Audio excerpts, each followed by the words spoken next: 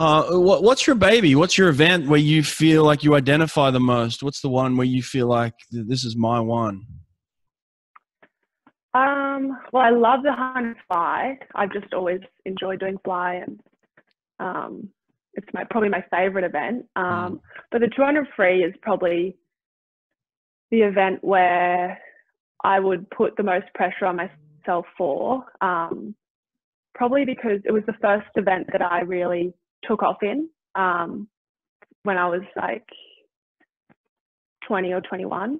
Mm-hmm. Um, and it's probably also the event where I know that I could, I can just do so much more in as well. So yeah, that would be the event that I um, would consider like my baby kind of thing. oh, that's cool. I can, I always, um, you know, I was always coaching girls in college, so I was trying to figure out how to get them to swim a good long course 200 freestyle. So most of the girls I was coaching, you know, we were aiming kind of 159, you know, 158 maybe. But how on earth do you swim a 154 200 freestyle? I have no idea how to coach that. so how how are you so good in that event? What do you do that is so much better than all these other girls out there?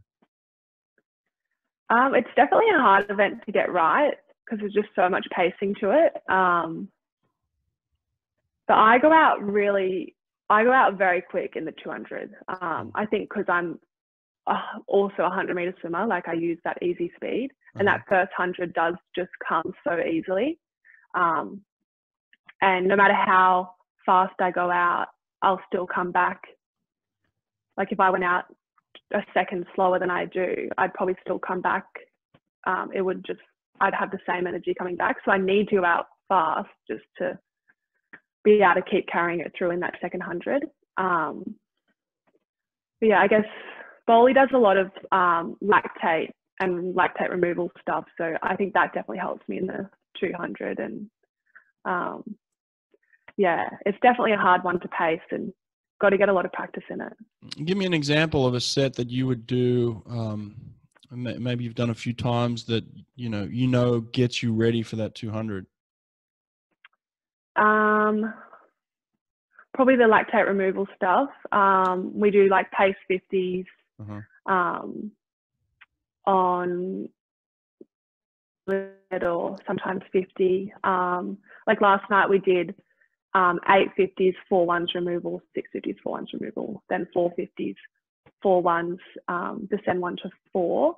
Um, so that stuff I reckon like gives me a lot of confidence um, going from the pace stuff and then through to doing a hundreds at not as fast pace, um, but still like working pretty hard, um, knowing that I can hold on for those four ones after. Um, yeah, that gives me a lot of confidence. So when you're doing, give me some times that you do on a set like that uh, at your best. Um, when you're doing those 50s, what are you trying to hold there? Um, 28 low, like around 28.3 I'm trying to hold. 28.3 and this is this is long 50s. course we're talking right now. So yeah. so you do those 50s, you hold 28 threes and then you get to your hundreds. What are you trying to hold on those hundreds?